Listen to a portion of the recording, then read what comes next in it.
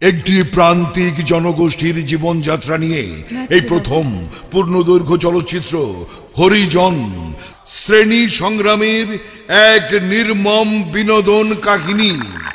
মির্জা শাকওয়াত হোসেন পরিচালিত হরিজন হরিজন।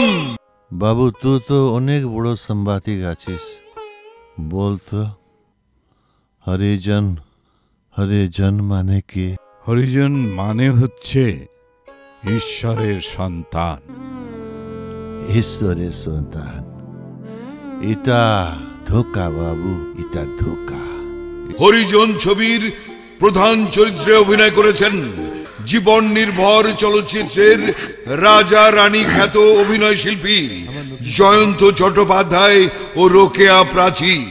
এ বছর বছর বাচ্চা দেবী ওরা আমি পুষবো সালি এ হারামি কি বলে রে? বাচ্চা শুধু আমার তুহার বাচ্চা না?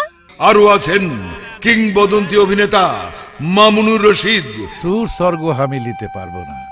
ওই মিঠাই লালের এক থালা ভাতের চাইতে স্বর্গ অনেক ছোট অনেক ছোট রে দাদা।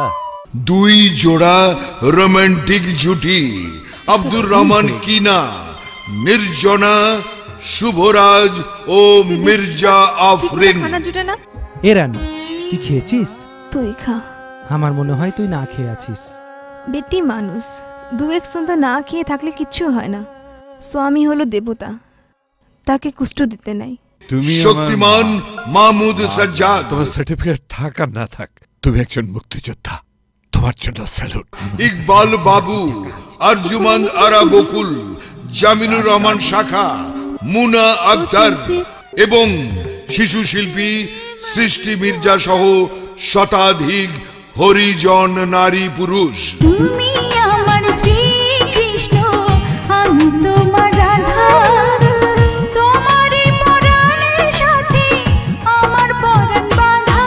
গানের ছবি প্রাণের ছবি। হরিজন হরিজন। এত রং মাখাইয়া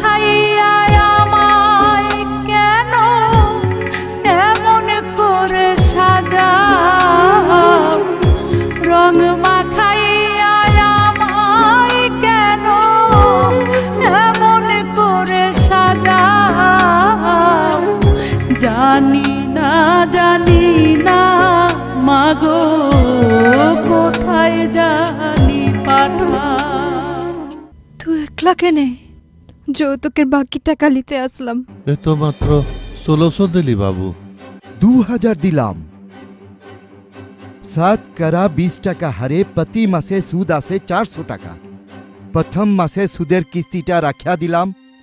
এটা ক্ষুদ্র ঋণের নিয়ম আছে। তুই আমাকে ছবি না। তুই একটা লটি? তুই আমাকে লটি বানালি? আপনার প্রিয় প্রেক্ষাগৃহে দেখুন Harijan.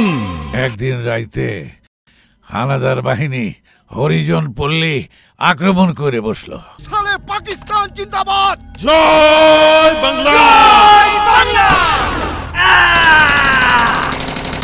Super sensational technical director Mirza Shakbad Hossain পরিচালিত একটি প্রান্তিক জনগোষ্ঠীর অসাধারণ জীবনযাত্রার ডিজিটাল ছবি।